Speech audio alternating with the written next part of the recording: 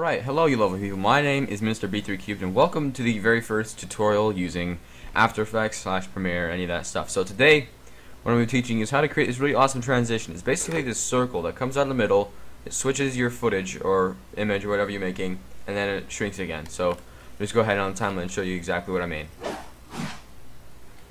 And if you missed it, let's watch it again. So yeah, I think it looks pretty cool. It is actually in effect done in After Effects and then bring uh, I brought it over into Premiere and then added some sound effects. I think it looks pretty awesome. So the first thing we're going to do is go into After Effects and we're going to create a new composition.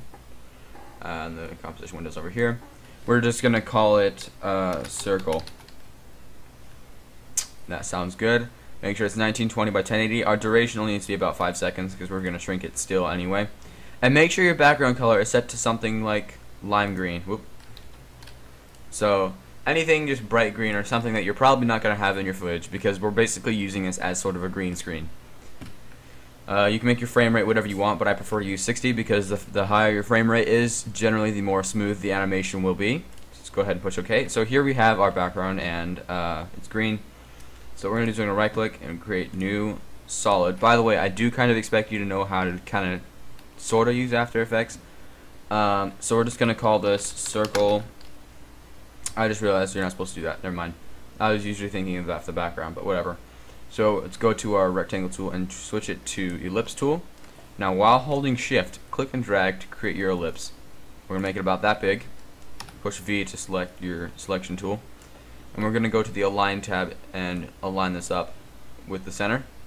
And if you don't know how to get to your align tab, just go to window and then look for align and it should pop up somewhere. So now what we're going to do with our shape layer is we're going to push S to bring up the scale keyframe. And we're going to go to uh, this little 100 here and change it to 0 so I have to make it small enough so you can't see. And you can actually click and drag to make it bigger and small. I think it looks kind of cool. Uh, so we're going to do that and we're going to put our keyframe down. And then we're going to go to about one second hold shift if you can uh, it makes it easier. And we're going to create another one just by pushing that button. Then we're gonna go halfway in between. About right there is good. And we're gonna change this to 100. Or no, we're not gonna change to 100. I just realized because 100 is not the entire screen. We're gonna keep dragging this up and up and up and up until it reaches the very corners of the screen. And it's slightly out of proportion. Let me realign this real quick. There we go. Now drag it until the corners are lined up like that. So the entire screen is blue now. So basically, if we watch the animation from the very beginning, it comes big, the very screen, then comes back out again. We just deselect it so it looks a little more fluid. And that's the simple animation itself. Now what we're going to do is we're going to click and drag to select all these keyframes, and we're going to push F9. And what that does is it does a thing called easy ease, which makes the uh, motion kind of come in and then bounce back. I think it looks rather good. Uh, one thing I added into my uh, demo test is um, motion blur, uh, but I don't think it's fully necessary because you have to play around with the green screen a little more to get it not showing the green. So now what we're going to do is we're going to go into the motion graph right here, and as you can see we have this little thing going on right here.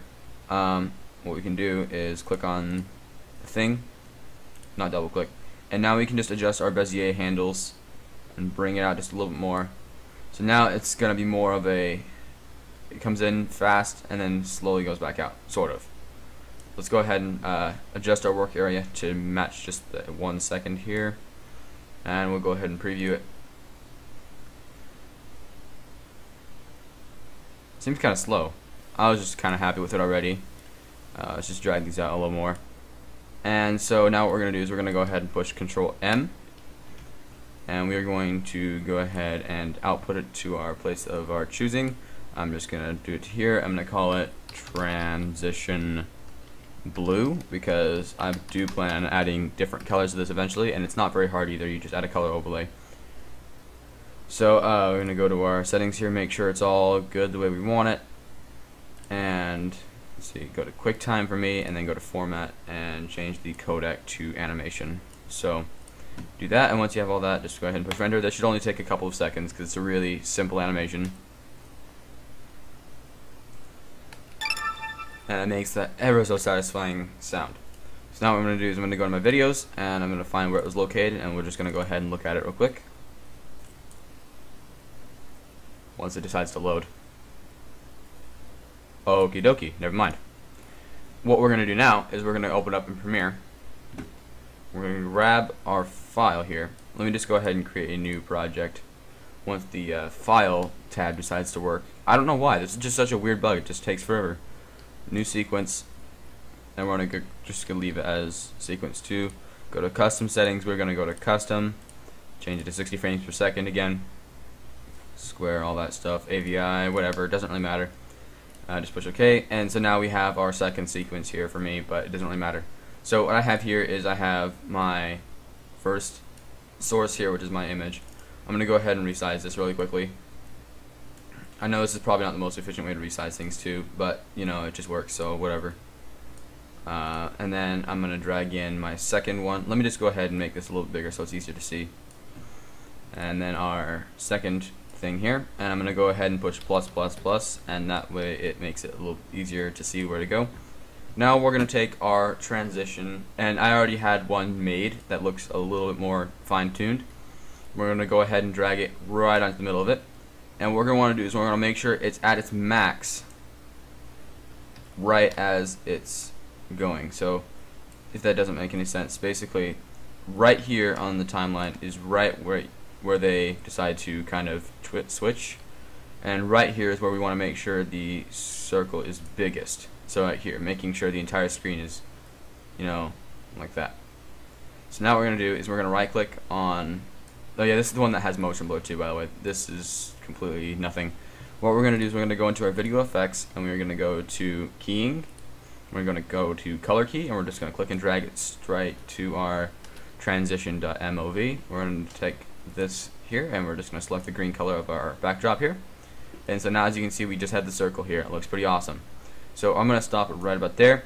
And what we're going to do is we're going to do some things with edge thinning and color tolerance. Now color tolerance, because this is motion blurred, this is a big mistake. Don't motion blur your transition. It just makes it a little difficult. We're going to drag our color tolerance up a bit. Uh, about 50 works for me. Uh, just to make it a little more uh, seamless. And then we're going to edge thin it. To about there. And you can feather it too if you want. I don't personally like to do it, but I mean if that's kind of your thing, you can do that. I'm going to turn up the uh, color tolerance just a bit more. That works and just check it all the way through to make sure there's no green. Alright, looks good. So let's go ahead and push enter to render it.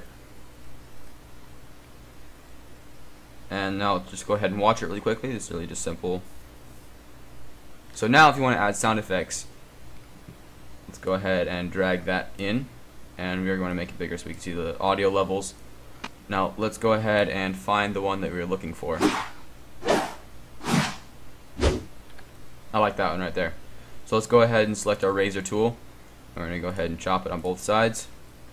Select V again just to get back to selection tool. Get rid of these.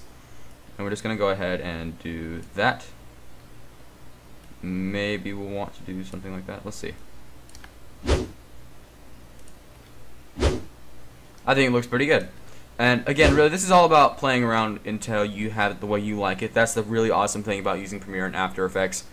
Um, but anyway, I'm glad that this is able to turn out in one take, and I really hope you enjoyed. And please make sure to hit that like button if you liked it. If you didn't, you know what to do. Uh, and tell me why if you didn't in the comments below. That was a terrible outro there. But anyway, thanks so much for watching, and I'll see you in the next one. Bye-bye.